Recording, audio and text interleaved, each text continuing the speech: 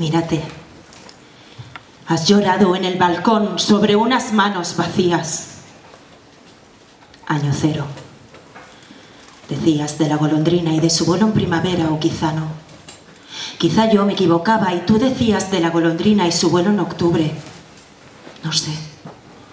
Porque también decías cosas sin sentido, como hambre, conciencia, cementerios, costumbre, velocidad. Arrancaste el cable del teléfono y lo partiste en nueve pedazos diferentes. ¡Qué idiota!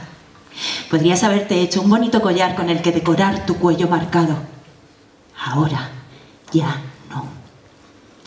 Llenaste las estanterías de libros escritos en alemán y hasta te compraste un diccionario de palabras olvidadas. ¿Para qué?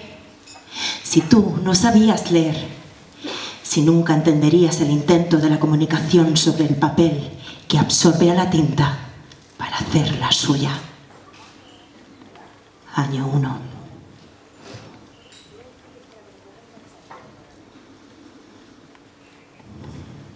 Marcaste en el calendario de la cocina todas las calles de esta ciudad y de tus soledades.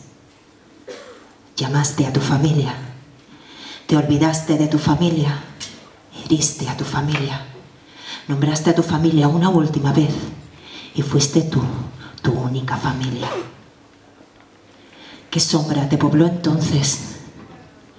Te entregaron un manual de conducta repleto de trenes, de pájaros, de verdades y lo quemaste.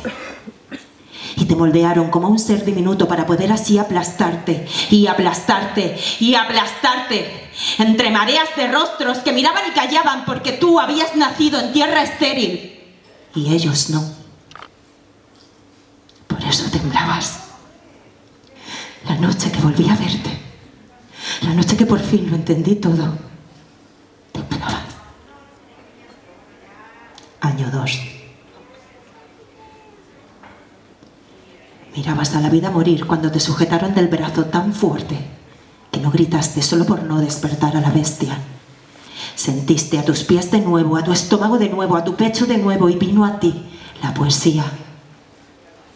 Y te perdiste en el bosque y tus pulmones oyeron a la luna, al lobo y a la madera y todo entró en ti destrozándote la jaula que fue entonces incierta y débil. Y justo en ese instante dolor y despertaste del sueño que había sido la realidad ante tus ojos. Diste las gracias y abrazaste. Y ahora, ya casi curada, año 3. Adelante.